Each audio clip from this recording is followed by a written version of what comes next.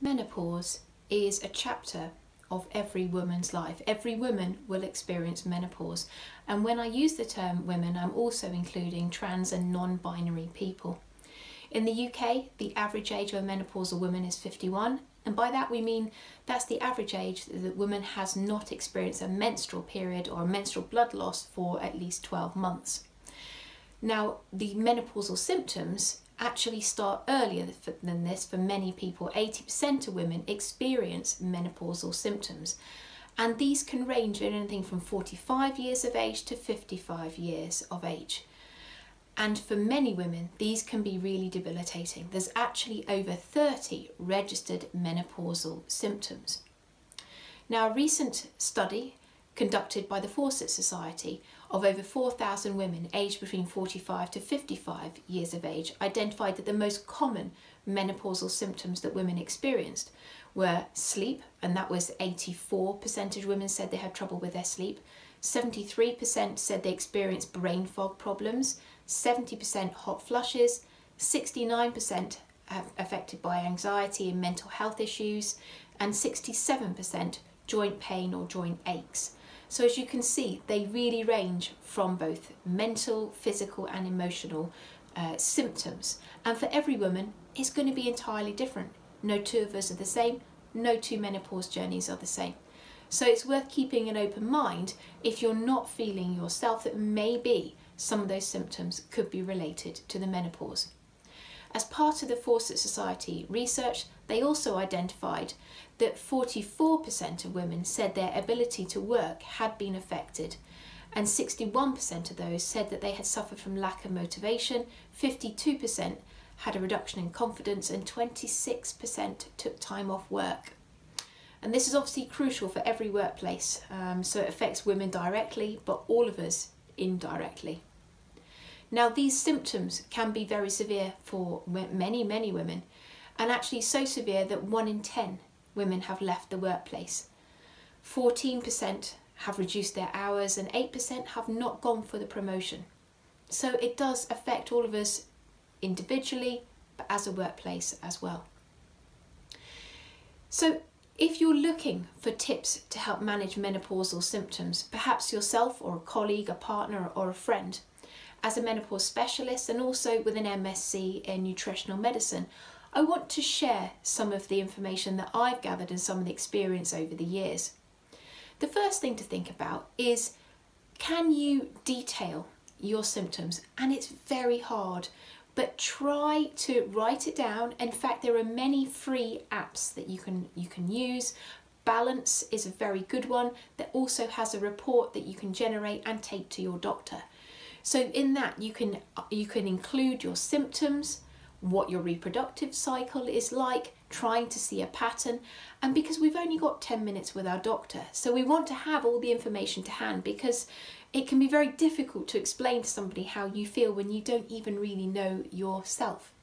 And I would encourage you to speak to your doctor as well, because in addition to doing a blood test to see if you are menopausal, and that's called an FSH blood test, follicle stimulating hormone, they should also do blood tests for your iron level because uh, anemia symptoms are very sim similar to menopause and they should also test your thyroid function to rule those two health issues out because again they're very very similar. So have a conversation with your doctor, perhaps the family planning doctor would be the best person and talk about what options are available to you. So I urge you to have that conversation with your doctor first of all. Now, in terms of dietary and lifestyle advice, there's an awful lot that we can do. So, in terms of what dietary things, first of all, let's look at those. So, stimulants, okay?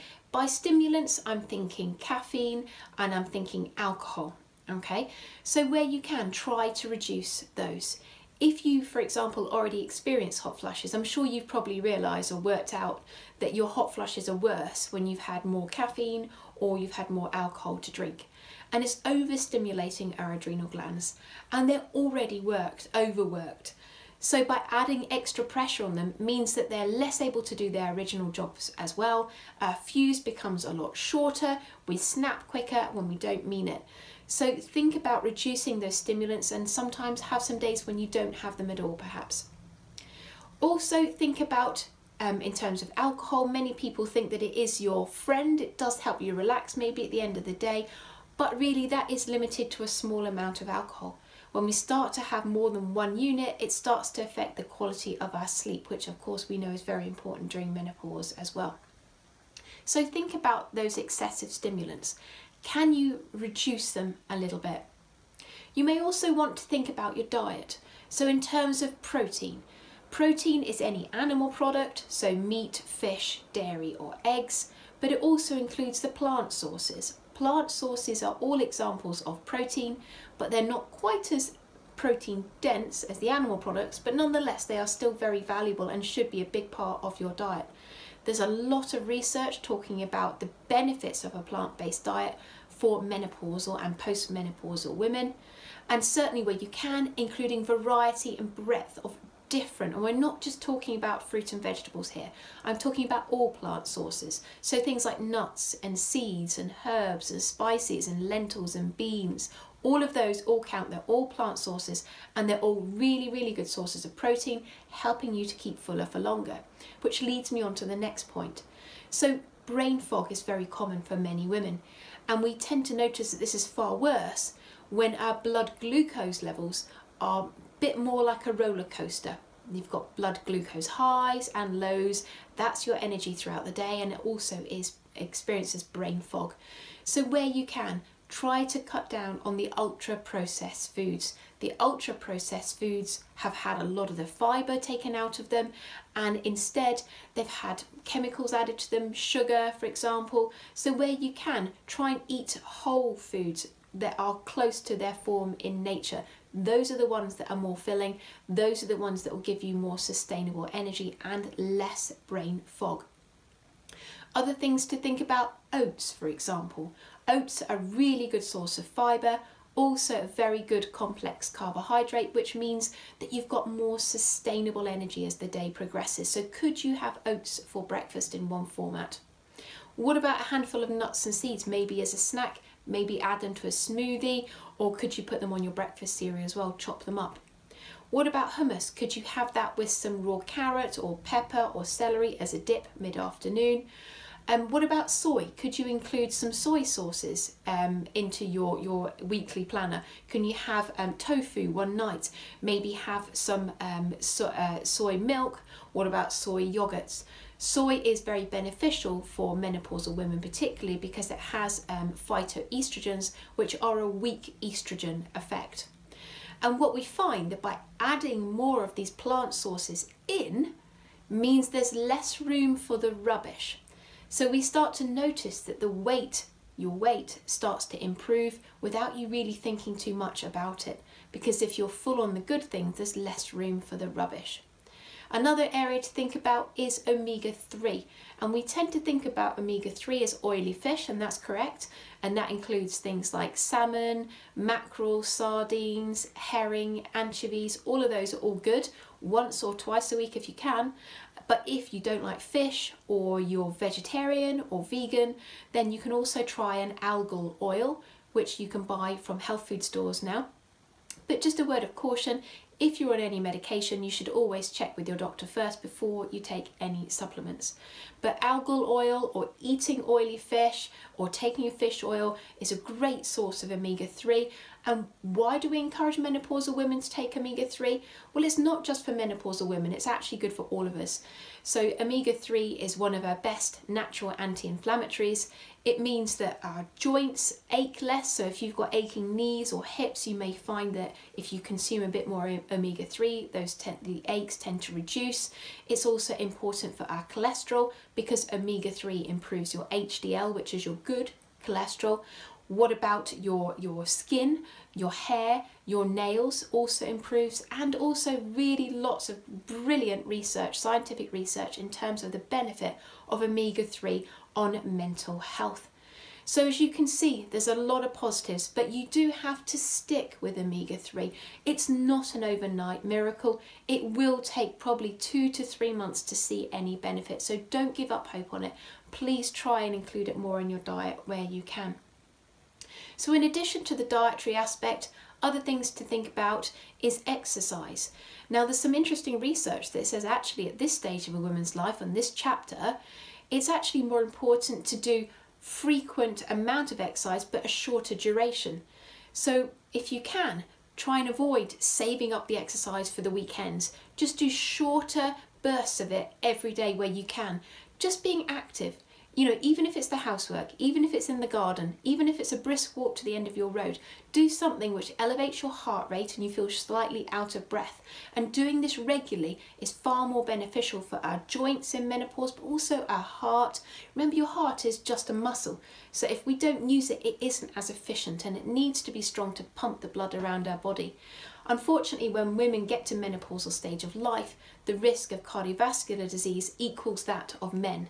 Before menopause, the risk for women was a lot lower. So we really do need to think about our heart health and think about how we can keep active um, in terms of using that heart muscle and also helping to help us keep a healthy weight. But also it's very important for our bone health. So in addition to keep maybe walking, doing something simple like gardening or, or household chores, what about also doing some weight bearing exercise? Because that's important for your bones to reduce your risk of osteoporosis, but it's also very important for muscle mass because if we don't use our muscles, then they just fatigue and they don't they're not as bulky or as strong. And it means that when we're not using them we're not burning as many calories. So it's more difficult to keep a healthy weight. So by doing some weight bearing exercise can also be really good. So things like squats and things like press ups those using those big muscle groups can be really beneficial as well and I also want to mention HRT, so it's not just dietary and lifestyle options. For many women, HRT is also an option. So have that conversation with your doctor about that. For many women, um, they may think that maybe HRT isn't for them. Perhaps there is a family history of breast cancer or blood clots, but the 2002 Women's Health Initiative study that many of us think about was actually 20 years ago now, and a lot has changed. The, the, um, the medicine that they used in the trial was a tablet form, which is very different to a lot of the HRT that's available now. Um, and also now we tend not to um, uh, encourage women to take HRT if they've been menopausal for more than 10 years because the risk is greater. So there are a lot of benefits to HRT, but it is unique to you because no two women will have the same menopause journey. So what worked perhaps for your mother, for your aunt, for your sister, for your friend will be completely different from you. You have your own risk profile and that's something you need to have a chat with your doctor about. But maybe also worth mentioning that many women also experience problems with urinary tract infections and discomfort um, in terms of libido and sex drive and intimate relationships. So if that is the case, you can also get um, a topical, which means you apply it to that area, a cream from your pharmacy, which is a type of HRT, but it's not what we call systemic. It means it's not around all of your body, it's just local to that area. And many women really, really feel the benefit of that. So in terms of the workplace, because for many women at this stage of life, in their 40s and their 50s, and in fact 1% of the population will go into what we call premature uh, menopause. So that's before the age of 40. So we do need to keep an open mind in the workplace that also it could be any female can be experiencing this. And we need to keep these women in the workplace. These are valuable contributors. These are women who have spent their entire life towards their career and what can appear to be overnight, their confidence is knocked, their self-esteem and they feel the only choice they have is to reduce their hours or leave the workplace. And just for a short chapter of their life is a real travesty. So let's support women in the workplace and how can we do that? Well, let's normalise the conversation. Let's make it open. Let's stop this taboo let's every woman is going to experience it. So let's talk about it. But we've got to remember that not every woman is going to want to talk about her own experience. So we need to also make sure that we signpost clearly where can women go for further help? Is it the HR department? Is it occupational health? Is it private healthcare or their doctor? Finding different routes that women can go and making it obvious so that they don't need to ask you for that help. They can find it themselves. But the most important thing we can all do is listen. Because as I said at the start, for many women, we don't understand what is going on ourselves, so it's really difficult to explain it to people. So give women the chance. Ask them how they're feeling. Ask them what can be done to help because no two people are the same. And encouraging them to talk. Provide a um, menopause champion or a support network group can also be hugely beneficial because women can share their symptoms and share what they find works for them and help support each other. Let's try and keep women in the workplace for as long as they want to be there because it is just a chapter of a woman's life and she shouldn't need to give up her career if she doesn't want to. And she certainly is not alone and should always know that there is support available to her. So let's make the conversation more open, let's talk about it, and let's stop this taboo.